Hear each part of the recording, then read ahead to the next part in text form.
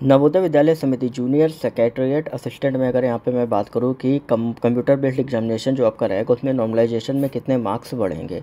देखो, ये जो कहीं ना कहीं क्वेरी है, हर स्टूडेंट्स के दिमाग में आती है। देखो, एक चीज़ यहाँ पे मैं बता दूँ कि अभी तक लास्ट ईयर भी हुआ था, आपका दो हज़ार वाला जो एग्ज़ाम हुआ था, उसमें भी किसी के मार्क्स जो हैं, वो डिक्रीज नहीं हुए थे। डिक्रीज इन द सेंस मतलब क्या कि मान लो आपके मार्क्स जो हैं, वो सौ आए हुए हैं तो सौ की जगह निन्यानवे आपके नहीं हुए, कभी नहीं ऐसा हुआ है।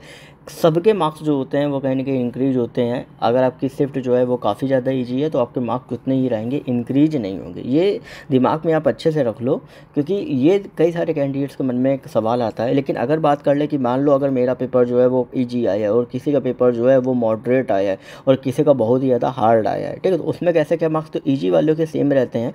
मॉडरेट में अगर देखा जाए तो दो से ढाई नंबर बढ़ने की आशंका आपकी रहती है मिनिमम क्राइटेरिया रहता है, दो से ढाई नंबर तो बढ़ते ही बढ़ते हैं। हार्ड में आपका क्या रहता है ना पाँच से साढ़े पाँच नंबर जो होते हैं, वो आपका हार्ड शिफ्ट में आपके बढ़ते हैं।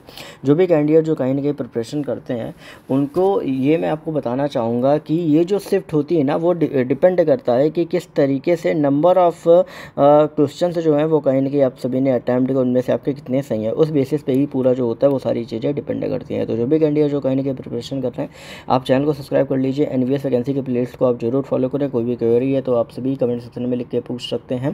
टेलीग्राम ग्रुप पर ऑलरेडी सर्कुलर वगैरह मैं डालता रहता हूँ तो उसको ज़रूर सब्सक्राइब करें और जो भी क्वेरी आप सभी पूछ सकते हैं बाकी अपडेट्स के लिए।